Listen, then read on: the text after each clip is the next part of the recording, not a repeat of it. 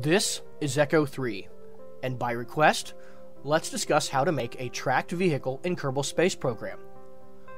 You can use mods that have tracks in them, but for this tutorial I will just be using the base game and the Breaking Ground DLC. This structural panel will just make it easier when I want to copy and paste some parts later on.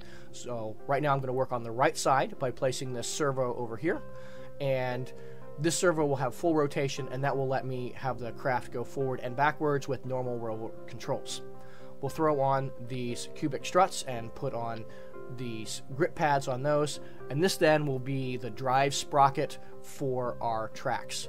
So I'm going to use some the big hinges on this, and so I'm going to kind of use two sets of the struts or of the cubic struts here, and that will just make it easier for our drive sprocket. And I'm going to copy and paste this servo and save it here on the other side for the time being so I can work on some other things.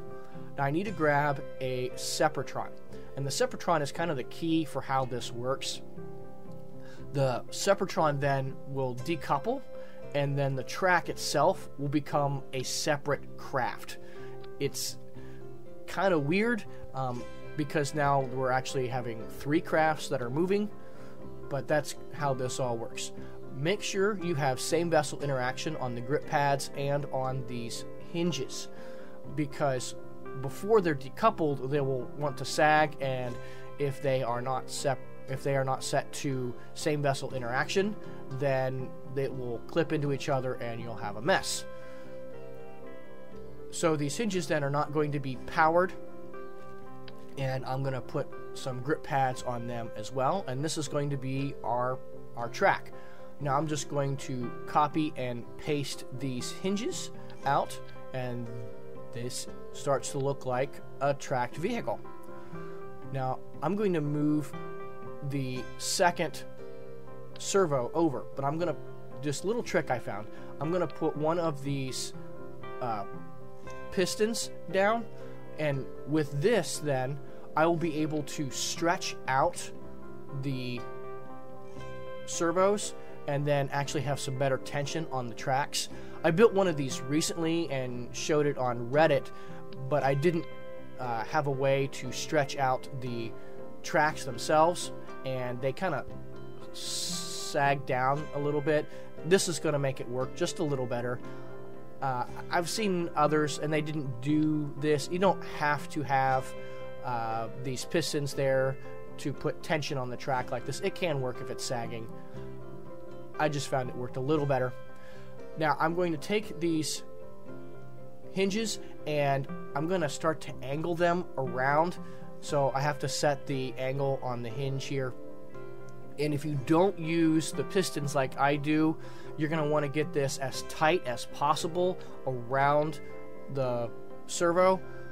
It just so you don't have a lot of issues. And this worked pretty well for me then. I just kind of curve it around and this then is the basis for my tracks. And I'll just be able to copy and paste uh, a few more of these parts together and we'll go all the way around. Now what I'm going to do here is just keep keep going around. Uh, I'm going to actually have three sets of, of servos, not just the two you're seeing here now. I'm just getting the the basis started for this. I just want to see kind of exactly where I need to be. With this much done, um, actually I'm using the uh, the number function here. I'm just trying to make sure this gets straight because I need this to start going straight back then. That just it'll just be easier that way. So, and actually in this case, I'm just going to copy and paste these top ones as well. Just make it a little easier on me. There we go.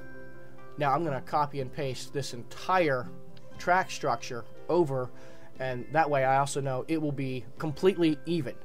So everything will line up. If you just go all the way around without doing this copy and paste, I can't guarantee, you know, you'll end up even uh, and there might be a gap between the last two tracks. Anyway, this helps solve that. And the last track and the first track will need to be strutted together with the struts like that, then when this is decoupled, it will all hold together as one unit. because you can't, you know, link parts back together with the way the tree branch nature of these parts work. So that's just kind of what I did to get around that is you just strut those pieces together.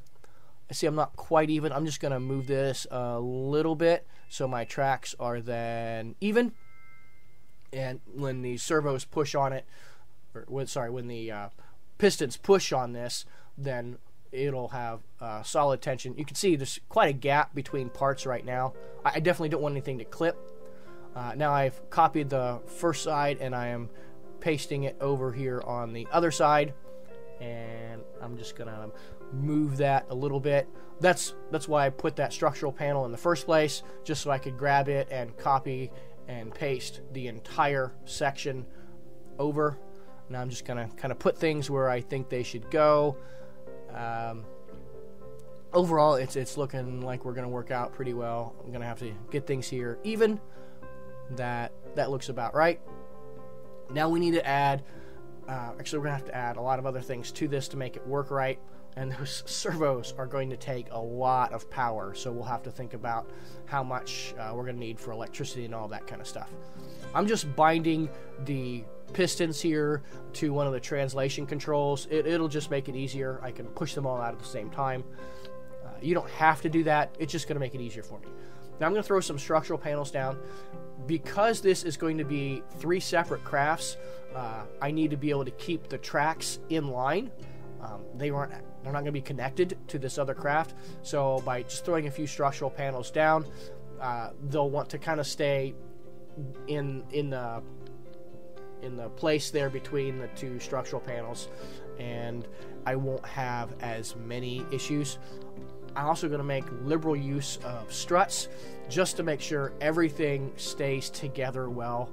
Uh, I just found this gets a little tricky and things will want to wobble, so lots of struts. I don't really use auto struts for most of this, but lots of struts. Now this is the KAL 1000, and I'm going to bind the servos themselves to the KAL 1000. This is going to make driving it really easy. And then the KAL 1000 is bound to the wheel throttle. Now the KAL is set to repeat, so as it keeps going, it's going to repeat its action so I place this down and I can see that the one servo is going the right direction when played forward. And I'll copy and paste it. And now I'll need to check. Now, this is not how it's actually going to drive, but it just lets me know that they're turning the right way. I can see the one on the other side is turning backwards, so I'll just flip it here on the KAL 1000. That looks correct. And there we go. Everything is driving correctly. Now, when I decouple those separate uh, when I decouple those uh, pieces, the tracks then will operate correctly. Now we have to add quite a few other things on this. We're going to need more structural panels. We are going to need power, and we're going to need to think about how exactly this is going to turn. I could try setting this up to make each side brake to turn how like a real tracked vehicle would. Or in this case, I'm going to go simple and just put a reaction wheel down here. And the reaction wheel will be powerful enough to turn the craft. Although I don't think one is going to end up being powerful enough. I'll probably need to put another one down just to have enough torque to turn the craft. The one I highlighted on Reddit uh, a few days ago it just needed one of the medium size reaction wheels, and that was enough to, to turn it easily. This is a much bigger craft, and so it's probably going to need a lot more. Those servos take a lot of power, so I've put down 16 of the RTGs, and even still, it's going to use electricity faster than it produces it. I have copied and pasted the structural panels on the one side, and I'm going to put them here over on the other side just to help guide the tracks and keep them from slipping off of our sprockets. And that, that should be adequate here. That's, that's really all I need to do is just kind of have a little bit of a, a guide for them so they'll want to just travel where they're supposed to. Now, mostly this craft is completed. Uh, because I've copied and pasted, I do need to double check and make sure that my, uh, here we go, these struts are in the right place. And they, they needed reset here. So I'm going to go ahead and, and fix that. Uh, just I needed to double check something, which happens when you copy and paste things. Sometimes struts get a little weird. So I'm going to pull these both sides apart and look. And there we go. Right. Now that that's been corrected there. Um, I think I need to add a few more things here to make sure it works right. Uh, I definitely need another of the reaction wheels and probably some more struts just to really help make sure this stays together while it's moving around. Uh, definitely need to make sure that no struts are cutting in front of the servos. Let's see. Let's add. There we go. So some more struts. Um, this this is a really weird craft, and, and when you're decoupling things like this, it, it's just going to get a little weird. So uh, just double check things, uh, make sure everything's working right. And I, I, don't know, I can't really emphasize the use of struts enough when you're doing something like this. Lots of struts. Add another one of these reaction wheels on here. Uh, I found that one wasn't enough to have this thing turn properly, so I put a, a second one on, and now the craft will be able to turn. If you make a smaller one, you won't need as much reaction wheels. Alright, so all I do is I put some tension on the tracks, and now I decouple, and we can drive. Um, and this works fine with the normal rover controls, so it seems to be working fine, and I can turn it. That's the reaction wheels causing it to turn. It doesn't go fast. This one goes 1.5 meters per second. The previous one I made only went 1 meter per second, so this has a little bit more speed. Probably with rotors I could go faster. Uh, someone asked, can you take this under the water? Well, I tried taking this particular one under the water, and it floated. I was a little surprised how well this thing floated. Um, didn't think it had that much buoyancy. I added a lot of extra weight to it in the form of ore tanks to try to, you know, how you might make a submarine or something, and it still floated pretty well. So I need to do more work to make this an underwater exploration craft. I am Echo 3. Thanks for joining me on the discussion on how to make a tracked vehicle in Kerbal Space Program. I would probably recommend using mods to do this instead of uh, the stock game if if that's an option for you. But as is, here's how you can use the breaking ground parts to make a tracked vehicle. I will see you next time.